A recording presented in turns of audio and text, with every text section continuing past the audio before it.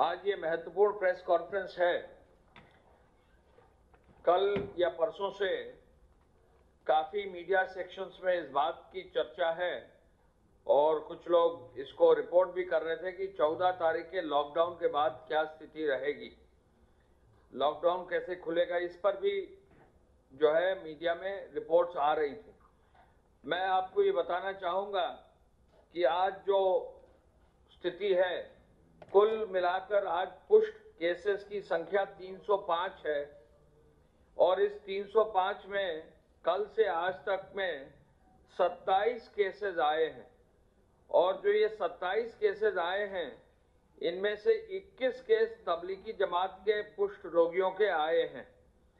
जो 27 केसेस आए हैं, उनमें आगरा से दो, जिसमें लखनऊ से पाँच, पाँचों तबलीगी जमात के हैं गौतम बुद्ध नगर से तीन, कानपुर नगर से एक, ये भी तबलीगी जमात से आए हैं। पाँच केसेस जो है, हमारे पास आज रिपोर्ट हुए हैं शामली से, ये पाँचों तबलीगी जमात से जुड़े लोग हैं। इसके बाद एक केस आया है कौशाम्बी से, एक केस आया है बिजनौर से, ये भी तबलीगी जमात से जुड़ा हुआ एक पेशेंट है। सीतापुर से आठ केस आए हैं, ये आठों जो है तबलीगी जमात से जुड़े हुए हमारे पेशेंट्स हैं। और प्रयागराज से भी एक केस आया है जो तबलीगी जमात से जुड़े हुए हैं। यानी कुल मिलाकर अब 305 केसेस हमारे पास हो गए हैं और इन 305 केसेस में अब 159 केसेस तबलीगी जमात से हैं।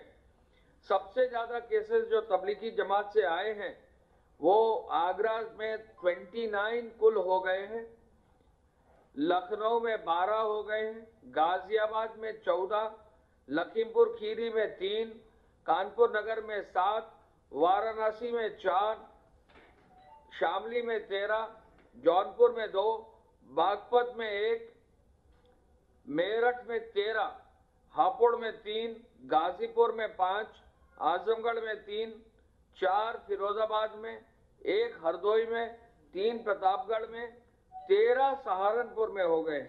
एक जो है शाहजहांपुर में दो बांदा में, छह महाराजगंज में, चार हाथरस में, मिर्जापुर में दो, रायबरेली में दो, औरैया में एक, बाराबंकी में एक, कौशाम्बी में अभी नहीं है, बिजनौर में एक, आठ सीतापुर में और एक प्रयागराज में। यानी 159 केसेस हमारे जो है, अब तबलीगी जमात से जुड़े हुए हैं और कुल हमारे प्रदेश में 305 केसेस हैं। यानी तबलीगी जमात से जुड़े हुए हमारे जो पेशेंट्स हैं, उनकी संख्या आधे से भी ज़्यादा हो गई। तो जो ये मीडिया में एक दो दिन से चल रहा था, चौदह के बाद लॉकडाउन का, ये देखते हुए कि इसके कारण संवेदनशीलता बढ़ी है। और अब हम पहले तो उन लोगों को टेकअप कर रहे हैं जो सीधे पेशेंट्स हैं, लगभग 159 फिर सेकंड स्टेज में उन लोगों को हम डील कर रहे हैं जो उनसे जुड़े हुए थे या उनके साथ रहे हैं। और फिर उन लोगों को सी कैटेगरी के लोगों को भी हम ट्रेस कर रहे हैं, जो बी कैटेगरी के लोगों से जुड़े रहे हैं या कहीं ना कहीं उनसे कांटेक्ट में आए इस संवेदनशीलता के बढ़ने के कारण ये अब संभावना है कि 14 अप्रैल के बाद भी लॉकडाउन खुल पाएगा कि नहीं, ये अभी कहा नहीं जा सकता है, क्योंकि ये संवेदनशीलता हमारे प्रदेश की बढ़ गई। और एक भी केस अगर हमारे प्रदेश में रह जाता है तो लॉकडाउन खोलना उचित नहीं होगा, क्योंकि जितनी भी व्यवस्था लॉकडाउन के संदर्भ में बेनिफिट्स मिले हैं और केसेस को कंट्रोल किया गया है, यदि एक भी केस कोरोना का रह जाता है पूरे प्रदेश में तो लॉकडाउन खोलने के बाद पुनः वही स्थिति आ जाएगी।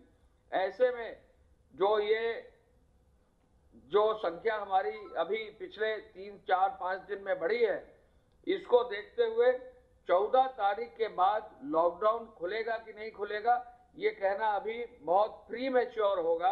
और संवेदनशीलता जो बढ़ गई है, जो कॉन्टैक्ट्स की संख्या भी जो बढ़ गई है, जो हमारे पास अभी पॉजिटिव केसेस बढ़ गए हैं, और जो पूरे प्रदेश में आधे से ज़्यादा तबलीगी जमात से जुड़े हुए लोगों की संख्या आ गई है एज कोरोना पॉजिटिव पेशेंट तो ऐसे में मैं केवल यही बताना चाहूँगा कि अभी हम बहुत ही प्रिलिमिनरी स्टेज पर ये कह सकते हैं कि 14 तारीख तक खुलेगा कि नहीं खुलेगा, ये कहना इम्पॉसिबल है और अभी इसमें समय लगेगा।